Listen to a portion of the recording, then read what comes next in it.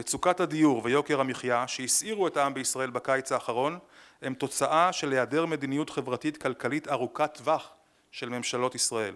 במפלגת ישראל ביתנו נדמה שכבר עסוקים בהכנות לקראת מועד הבחירות הקרוב. במהלך יום עיון שקיימה היום מפלגתו של ליברמן בכנסת, שבמרכזה עמד שינוי שיטת הממשל, נדמה שגם נתנו על הדרך תשובה מוחצת לרעיונות שמעלים המתמודד החדש יאיר לפיד, ועמותת יש סיכוי בראשות מאיר דגן, שחותרים אף הם לשינוי שיטת הממשל. גורמים מעטים מדי במערכת הפוליטית קוראים בקול רם וברור, כמו ישראל ביתנו, לשינוי שיטת הממשל. התלות של המפלגות הגדולות בקטנות, ההולכות ומתרבות, חוסמת את העלאת הנושא לסדר היום. אז מעבר לדיון בקמפיין המפלגה לגבי סוגיית הנאמנות, במרכז התוכנית מדובר על מעבר משיטת משטר פרלמנטרית לשיטה של משטר נשיאותי. במסגרתו יינתנו סמכויות מרחיקות לכת למנהיג הנבחר. אני יודע שאני מאוד לא פופולרי ויש בלבול רב בין דמוקרטיה לפריימריס. אין שום קשר בין שני הדברים. ואני מכיר כבר, יש לנו, אתה יודע, קבלני קולות מקצוענים שהם עוברים ממפלגה למפלגה. מי בעד, מי נגד, מי נמנע, נא להצביע. על פי ההצעה, הכנסת תוכל להפיל את הממשלה בהצבעת אי אמון רק ברוב מיוחס של 80 או 90 חברי כנסת, והשרים כולם, למעט ראש הממשלה, לא יהיו חברי כנסת.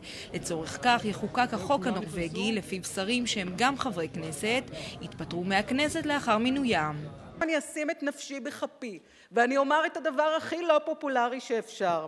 אני מתנגדת לשינוי שיטת הממשל. אין מקום לשינוי שיטת משטר בישראל אל מול אופנות חולפות, לא בגלל שהשיטה שלנו כל כך נפלאה, אבל היא פשוט לא יותר גרועה מהאחרות. אז גם אם לא כולם שותפים לדעתם של חברי ישראל ביתנו, שימו לב מה חושב הציבור. הסקר נעשה בארץ בקרב דוברי רוסית. האם שיטת המשטר בישראל מאפשרת התנהלות תקינה של מוסדות הממשל והמדינה?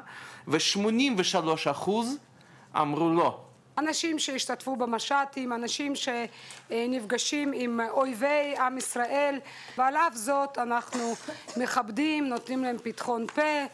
ואני חושבת שהגיע הזמן שכל העולם ידע שאם מישהו מדבר על דמוקרטיה בעולם, אז קודם כל כנסת ישראל היא סופר דמוקרטית. נושא הנאמנות גם בתוך משכן הכנסת לא ירד מהפרק גם בוועדות נוספות. ובעוד שבשנים האחרונות מדווחים כי מעמדה של הכנסת רק הולך ומידרדר בעיני הציבור, נדמה שחברי הכנסת עדיין עסוקים יותר בשלהם.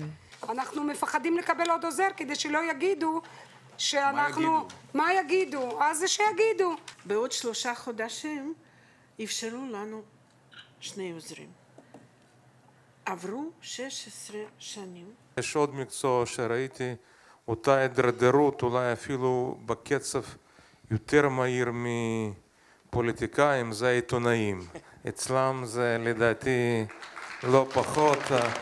אם לא יותר, אבל... נושא שינוי שיטת הממשל קרוב לליבה של מפלגת ישראל ביתנו, בזה אין ספק.